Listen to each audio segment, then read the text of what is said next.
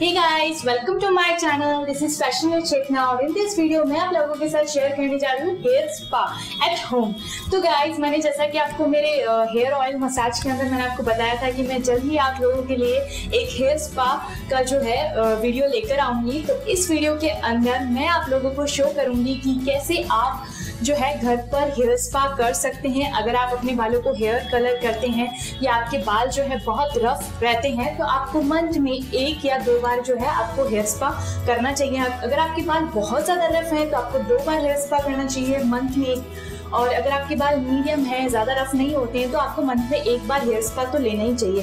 तो इस वीडियो के अंदर मैं आपको शो करूँगी कि आप घर पर और अफोर्डेबल प्रोडक्ट के साथ में कैसे हेयर स्पा कर सकते हैं। तो चलिए मेरे वीडियो के साथ में स्टार्ट करते हैं। अगर आप मेरे वीडियो को फ़र्स्ट टाइम देख रहे हैं तो मेरे वीडियो को लाइक शेयर सब्सक्राइब कर दीजिए।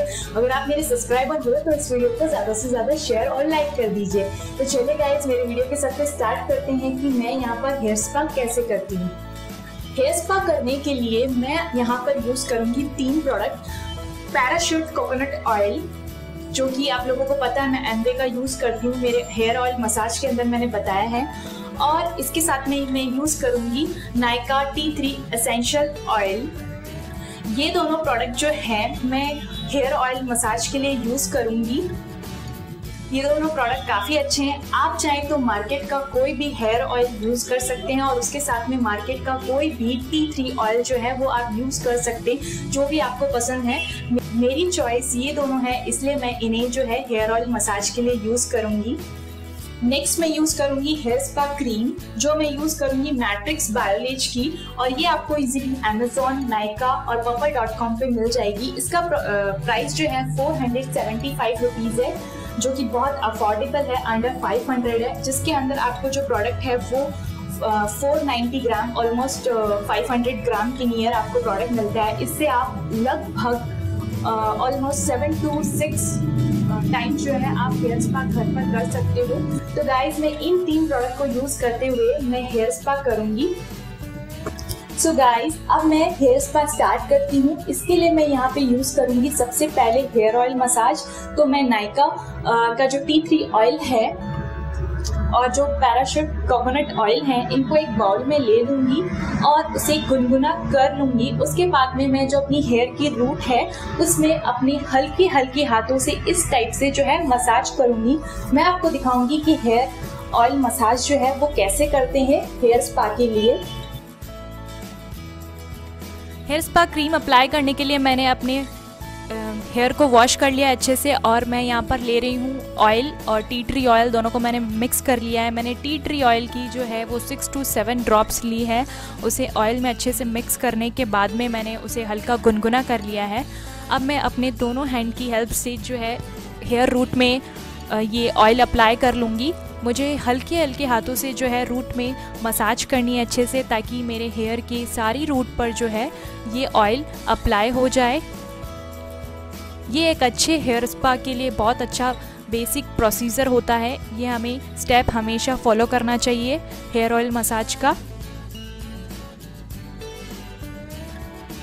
उसके बाद मैं अपने बालों को क्लचर की हेल्प से आधे पोर्शन में डिवाइड कर लूँगी, उसके बाद में मैं मैट्रिक्स की क्रीम लूँगी और उसे इस तरीके से अपने बालों को पार्टीशन करते हुए क्रीम को जो है अच्छे से अपने बालों में अप्लाई कर लूँगी। हमें हल्के हल्के पार्टीशन में पहले क्रीम अप्लाई करनी है ताकि हेयर का कोई पार्ट जो है वो छूट नहीं जाए। अच्छे से क्रीम जब अप्लाई होगी बालों के अंदर तो एक एक बाल जो है अच्छे से खिल उठेगा। इसलिए हमें पूरे हेयर में जो है ये क्रीम बहुत अच्छे से अप्लाई करनी है। जब क्रीम जो है वो नीचे हेयर में अप्लाई हो जाए तो उसके बाद में हमें क्लचर को रिमूव करके ऊपर वाले हेयर पर भी क्रीम को अच्छे से अप्लाई करना है।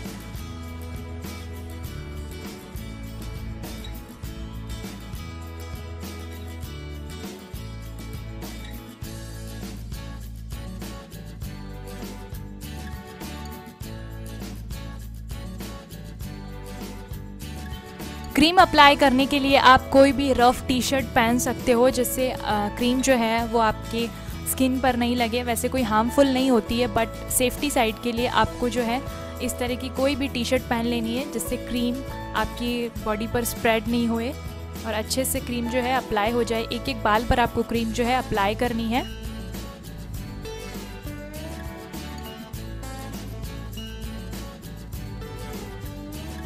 आपको ये क्रीम जो है वो स्कैल्प में नहीं लगानी है।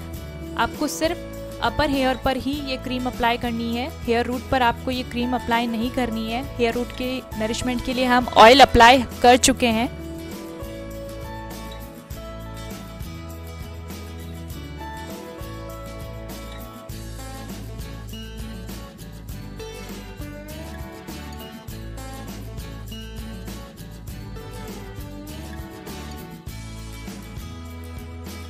क्रीम अप्लाई हो जाने के बाद में हमें अच्छे से हेयर मसाज करनी है। हेयर की रूट पे हमें बहुत अच्छे से मसाज करनी है ताकि आपको एकदम रिलैक्स फील होए।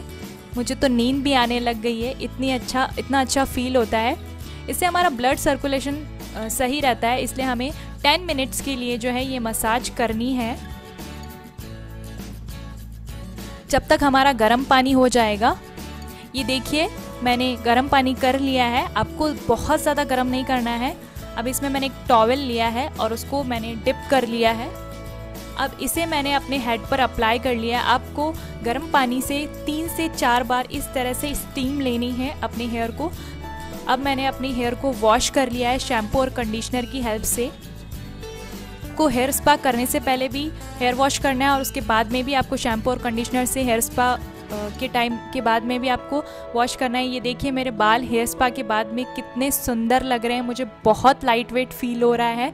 एक एक बाल खिल गया है और ये घर पर एकदम पार्लर जैसा हेयर स्पा हो गया है।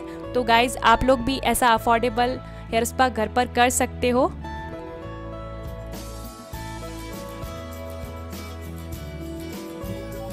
सो so गाइस ये था मेरा हेयर स्पा का वीडियो अगर आप लोगों को अच्छा लगा हो तो इसे ज़्यादा से ज़्यादा शेयर कर दीजिए, ताकि आपके फैमिली में कोई भी वुमेन या मैन जो है हेयर स्पा करने का सोच रहे हैं घर पे तो इन तीन प्रोडक्ट के साथ में जो है हेयर स्पा कर सकते हैं. सो so गाइस अगर आपको मेरा ये वीडियो अच्छा लगा हो तो like share subscribe my channel thank you guys bye bye